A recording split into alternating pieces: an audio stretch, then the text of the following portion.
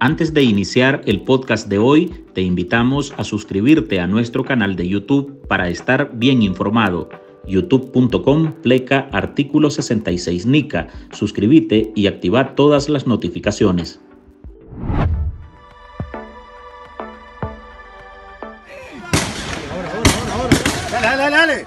La desmedida represión implantada por el régimen de Nicaragua la falta de democracia y de independencia de poderes del Estado, el nepotismo, la anarquía y el control de las Fuerzas Armadas está llevando a una debacle sin precedentes al país. Es decir, el Estado yanqui es la expresión, la expresión más desarrollada del imperialismo, de los imperialismos de la tierra. No ha habido potencia a lo largo de la historia más criminal que la potencia norteamericana. Daniel Ortega, quien tiene 15 años continuos en el poder y sin soltarlo y apoyado en fraudes electorales, estaría causando que el país se hunda cada vez más de cara a la comunidad internacional y en rankings mundiales. Vamos a jurar Familias nicaragüenses, hermanos nicaragüenses, vamos a orar nuestro compromiso de seguir luchando para erradicar la pobreza, para erradicar el hambre, para mejorar las condiciones de vida de todas las familias nicaragüenses. El índice de Estado de Derecho de este año refleja un retroceso en esta materia para Nicaragua. La nación ha bajado cuatro peldaños a nivel global, posicionándose en el puesto 137 de 142 países, de acuerdo con el informe de World Justice Project. El estudio revela que en el país centroamericano se sigue debilitando el límite del poder gubernamental, los derechos fundamentales, se fortalece la corrupción y se reduce el espacio cívico y la administración de justicia y su cumplimiento, lo que está hundiendo a Nicaragua. Sin institucionalidad y sin Estado de Derecho hay muy poco clima de negocios, hay muy poca estabilidad jurídica y económica. Desde el 2018, con el inicio de las protestas sociales en abril, se inició una de las peores etapas represivas en Nicaragua, que ha dejado más de 350 víctimas mortales, miles de heridos y en cinco años ha expulsado a unos 600.000 nicaragüenses, según la Comisión Interamericana de Derechos Humanos.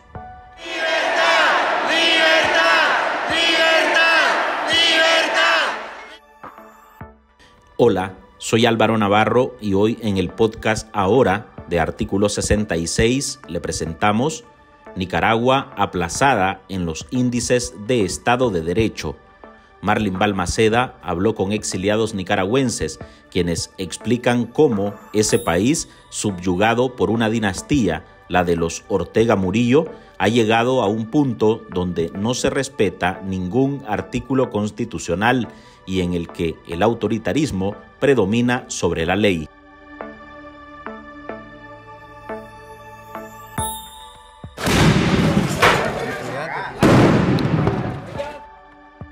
Está entre los peores. En lugar de mejorar, cae. Nicaragua ve deprimidos sus índices de Estado de Derecho y está en la cola, en el puesto 137 de 142 naciones evaluadas según el informe World Justice Project. Y no es para menos. En Nicaragua, de acuerdo con el estudio, hay una estrepitosa agonía de la justicia social, la justicia civil, la justicia penal, los derechos fundamentales y un deseo del gobierno de controlarlo todo, lo cual ha sido medido desde el 2007, cuando Ortega recuperó el poder. El 18 este, se logró poner en práctica ya con una fuerza ya mucho mayor. ¿eh? Eh, el plan de los Estados Unidos de destruir el proyecto. Mac Jerez, excarcelado político y desterrado a Estados Unidos, y Luis Blandón, vocero de la Unión Democrática Renovadora y también exiliado, pero en España, afirman que el ejemplo de este retroceso es latente, queda expuesto en los más de mil ciudadanos que han pasado por las cárceles de Nicaragua en los últimos cinco años por declararse opositores o ser críticos a Ortega, o los 317 nicas que fueron despojados arbitrariamente de su nacionalidad. Ese fue el ejemplo más descarnado de una justicia arbitraria, absurda y aplastante. Lo que el índice de Estado de Derecho 2023 refleja sobre la situación en Nicaragua es el resultado de las acciones que ha tomado el régimen de Daniel Ortega desde su llegada al poder en 2007. Eh, lo que hemos visto desde entonces es una eh, secuencia de acontecimientos y decisiones políticas y administrativas que han socavado la institucionalidad del país y que han hecho que todas las decisiones pasen eh, no por un equilibrio entre los poderes o por la independencia de los poderes del Estado, sino por la decisión autoritaria y autocrática de la pareja eh, gobernante, en este caso Daniel Ortega y Rosario Murillo. Esto se atribuye a las constantes violaciones de derechos humanos cometidos por la dictadura de los Ortega Murillo a todos los ciudadanos nicaragüenses. Seguimos viendo ejecuciones extrajudiciales, eh, detenciones arbitrarias, tortura, privación de la nacionalidad y hasta el derecho de permanecer en el país. Esto es producto de que siguen utilizando las instituciones al servicio de lo que la pareja eh, se les antoje. Esto no va a mejorar mientras sigan instrumentalizando el poder judicial, el ejecutivo y el electoral. En Nicaragua no hay instituciones que respondan a los ciudadanos. Vende patria, apátrida diría yo, sin patria. Qué dolor, qué desconsuelo, qué vergüenza debe ser para quienes no conocen el amor a la patria. Entre esos desnacionalizados que fueron despojados de su legalidad en febrero de este año se encuentra el abogado Gonzalo Carrión, defensor del colectivo de derechos humanos Nicaragua Nunca Más. Carrión participó en esta edición. Afirma que no sorprende este índice, tomando en cuenta que Nicaragua está en manos de un matrimonio presidencial que tiene como misión controlar todas las esferas del poder, a sangre y fuego, por la fuerza, matando si es necesario. Refleja lo, eh, el absoluto deterioro en materia de institucionalidad. Es decir, Nicaragua en las últimas posiciones eh, de, la, de poco más de 140 países valorados, en las últimas posiciones, solo evidencia que eh, lo que tenemos desde hace varios años es un, un régimen dictatorial, ¿verdad? Y en dictadura la calificación de Estado de Derecho. Es decir, hablar de Estado de Derecho en dictadura no tiene coherencia, pues ambos conceptos son contradictorios, porque puede, en dictadura puede, puede haber Estado y en efecto lo hay. Hay Estado, pero no hay derecho.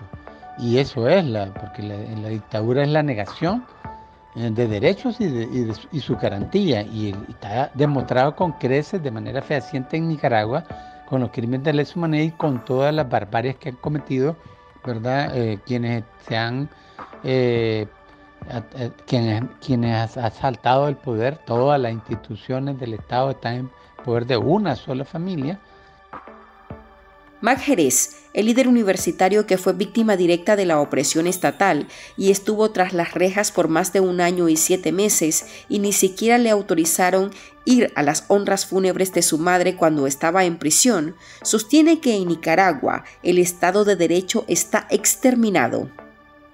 Este índice, eh, pues acierta en remarcar que Nicaragua es uno de los países donde menos se respeta el Estado de Derecho. Yo me atrevería a decir que no hay Estado de Derecho en Nicaragua, porque para que haya un Estado de Derecho debería haber balance de poderes, debería haber eh, una eh, armonía entre los poderes, pero debería haber rendición de cuentas, respeto a la ley, debería haber una serie de condiciones que son actualmente inexistentes en Nicaragua y lo hemos visto recientemente, más recientemente con el golpe que le ha dado la dictadura a la Corte Suprema de Justicia, que si bien nosotros sabemos que es una Corte Suprema que no tiene ningún valor, que es meramente decorativa, pues en cualquier otro país mínimamente democrático esto sería una barbaridad. Nicaragua, a nivel regional, solo se encuentra por encima de Haití y Venezuela, dos naciones inmersas en la pobreza, la violencia y la represión, donde prevalecen estados dictatoriales similares al de los Ortega Murillo.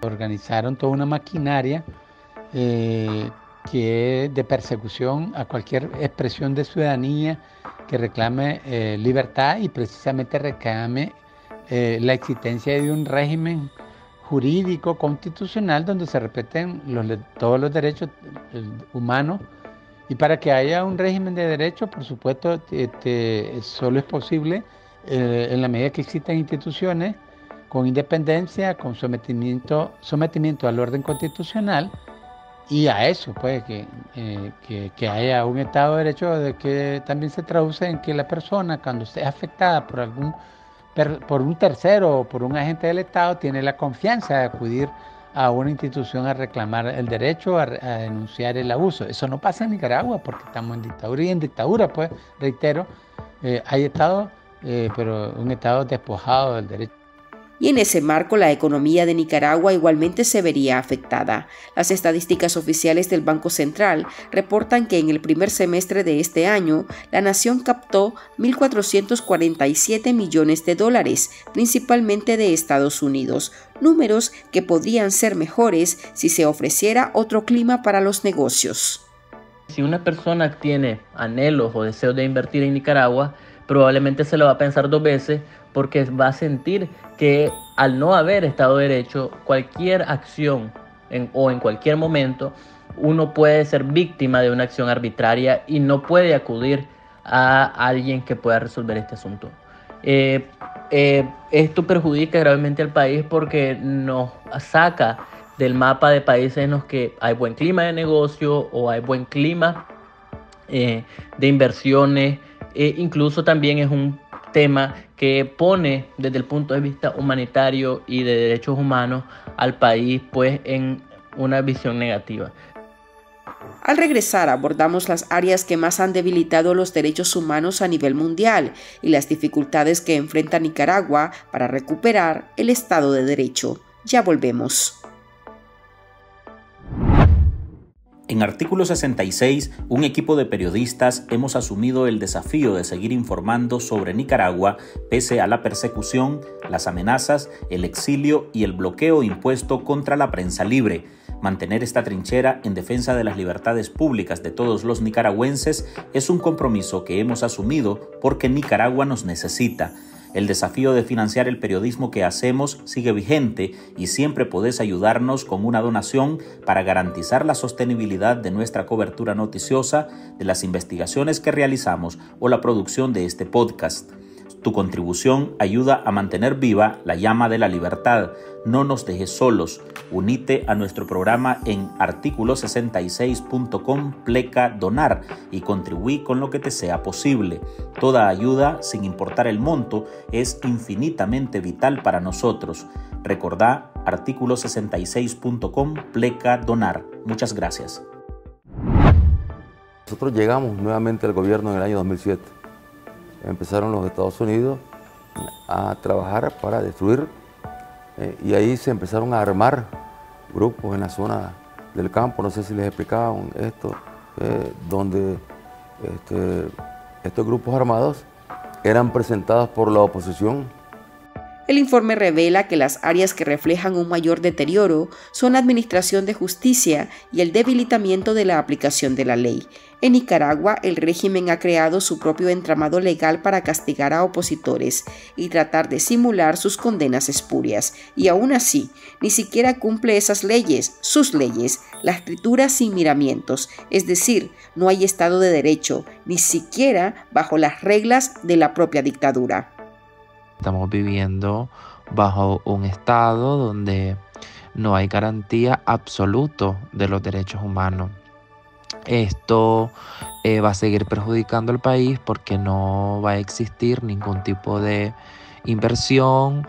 Eh, cada vez estamos más aislados y esto lo que va a traer es más pobreza, más miseria a todos los nicaragüenses, pero también estamos convertidos en un estado a los antojos de la dictadura. Es sumamente preocupante porque hay un futuro incierto para todos y todas las nicaragüenses eh, y por tal razón es importante eh, seguir eh, denunciando, pero también cómo logramos buscar una salida pacífica y democrática que nos encauce nuevamente a recuperar la democracia en Nicaragua para que los nicaragüenses podamos vivir en paz.